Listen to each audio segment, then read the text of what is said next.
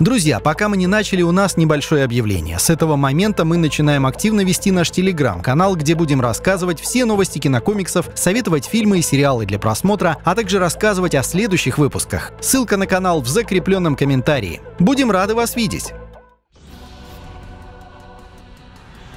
Здравствуйте! Вы смотрите Geek Movies.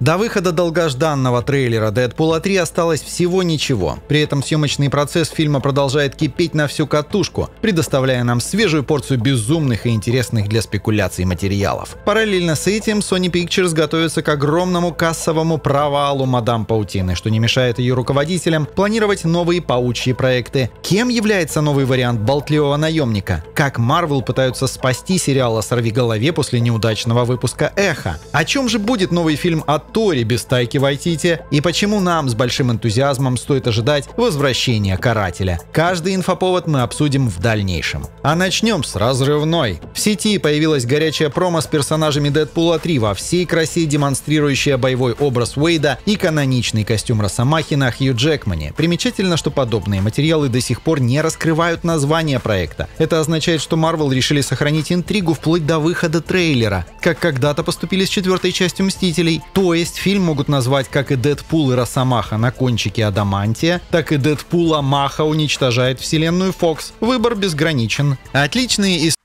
и пока вы предлагаете свои варианты названия фильма в комментариях, мы сосредоточимся на свежих кадрах со съемок. Помимо Док-пула в фильме официально была подтверждена версия Уэйда, представляющая из себя самурая с бронекостюмом. Судя по видео, происходит это в моменте, когда герои путешествуют по той самой пустыне. И судя по внешнему виду варианта, мы предполагаем, что создатели представят версию героя без мутантских способностей, вдохновленную Девстроуком из комиксов DC. А как мы знаем, Рейнольдс очень любит ссылаться ссылаться на соседнюю франшизу, но даже если данный образ и вдохновлен чем-то иным, то как и в случае с сериалом Локи или мультивселенной Безумия, Марвел продолжают исследовать грани персонажей с помощью их взаимодействия с альтернативными версиями. Поэтому мы не удивимся, если это всего лишь маленький пазл для чего-то более амбициозного. Есть и еще одна хорошая новость. Официальный российский голос Уэйда Уилсона Петр Гланс объявил, что поработает над дубляжом третьей части. По словам актера, для него было важно, чтобы зрители получили то, чего заслуживают, а именно качественный перевод, те самые голоса и веселое времяпрепровождение. Ожидается, что помимо самого Гланца к работе над озвучкой будет привлечена вся команда предыдущих двух картин. Официальный голос Росомахи Александр Арахленко также задействован в проекте. Лично мы от всего сердца желаем творцам удачи и надеемся, что каждый в этой ситуации получит то, чего заслуживает. Делитесь в комментариях, в каком формате вы планируете смотреть третьего Дэдпула в официальном дубляже от Казахстана, со старыми добрыми субтитрами или же версия от Петра Гланца. Ну а мы переходим к не менее интересной новости. На днях появились свежие обновления о новом сериале про «Сорви голову». И судя по их содержанию, Marvel с головой взялась за исправление ошибок последних лет. Так, со слов исполнителя Уилсона Фиска, Винсента Донофрио, решение канонизировать весь контент Marvel от Netflix было принято после творческой дискуссии продюсеров о переделке проекта. Обуславливается оно тем, что таким образом сюжет будет работать гораздо лучше и даст персонажам мощный бэкграунд.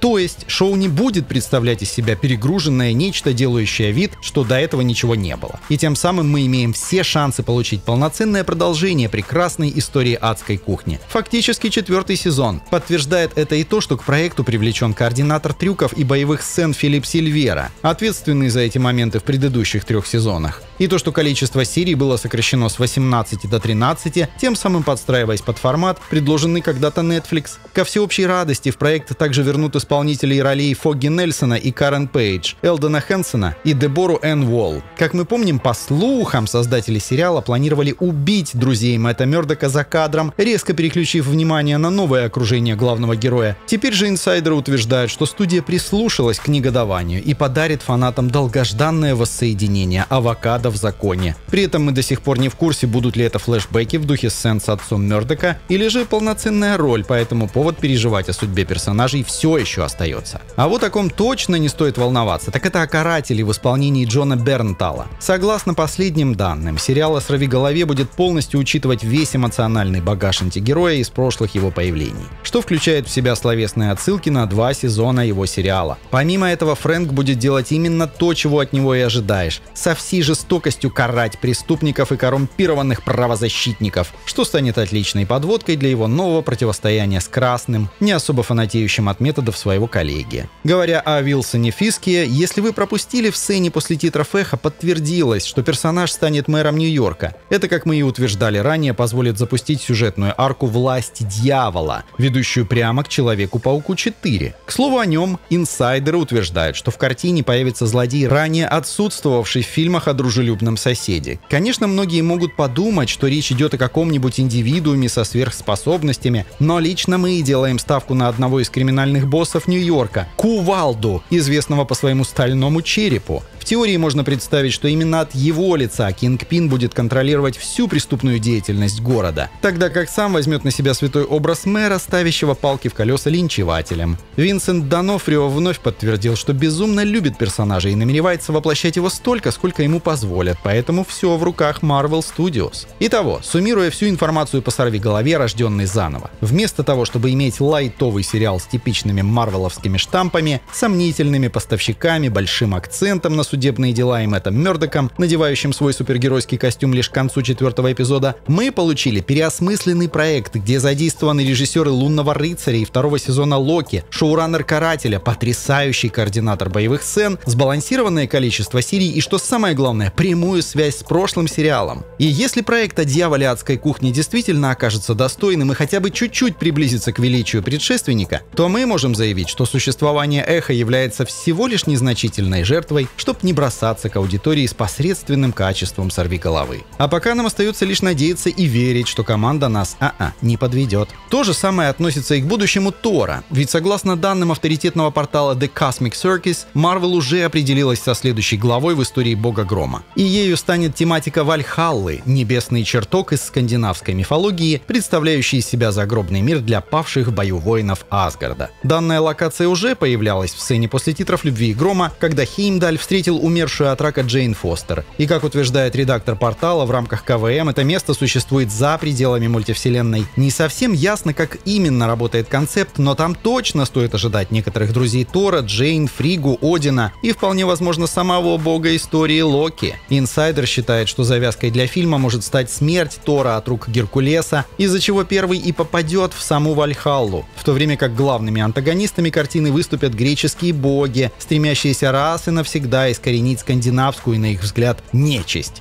Кульминацией всего может стать масштабный замес между двумя пантеонами. Если информация подтвердится, то данная история идеально подходит для завершения арки Одинсона в исполнении Криса Хемсворта. Мы лишь надеемся, что создатели проекта подойдут к разработке кинокомикса максимально ответственно, с огромной любовью и уважением к персонажам. А не как, ну вы сами знаете. Судя по концепту, релиз картины стоит ожидать явно не в ближайшие годы, а то и вовсе после «Мстителей». В любом случае, времени у студии будет достаточно. Далее у нас идут последние обновления о Мадам Паутине. И тут все очень грустно. Во-первых, создатели фильма официально подтвердили, что события проекта происходят в 2003 году, в рамках совершенно новой вселенной, которая не связана даже с Веномом Тома Харди. Во-вторых, авторитетный журналист Джефф Снайдер раскрыл, что из фильма была полностью вырезана сюжетная линия с Человеком-пауком, Согласно этим данным, по изначальной задумке Sony Pictures планировали сделать кинокомикс с частью диалогии Паучка с Эндрю Гарфилдом, но в какой-то момент студия переключила свое внимание на версию Тома Холланда. По итогу все стало настолько запутанным, что создатели полностью отказались от связи с героем, за исключением наличия в фильме дяди Бена и Мэри Паркер. Но это еще не все.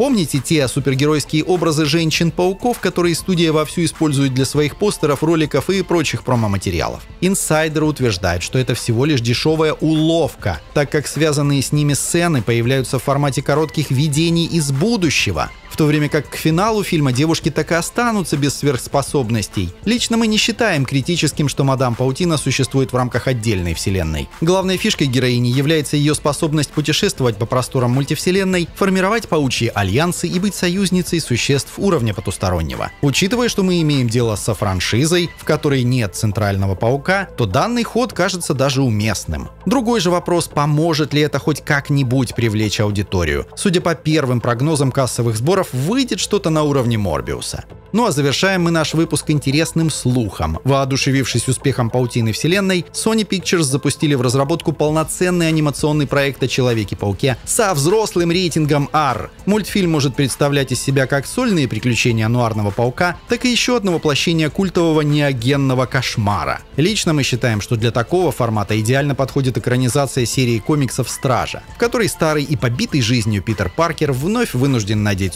супергеройский костюм, чтобы в смертельной схватке остановить зловещую шестерку и Венома. Возможностей миллион. Ну а на этом мы завершаем наш выпуск. Делитесь в комментах, как вы оцениваете перспективы успеха Дэдпула 3 и нового сериала о сорви голове. Какие аспекты вы хотели бы увидеть в пятой части Тора? И что вы думаете о слухах про мадам Паутину? Увидимся очень скоро.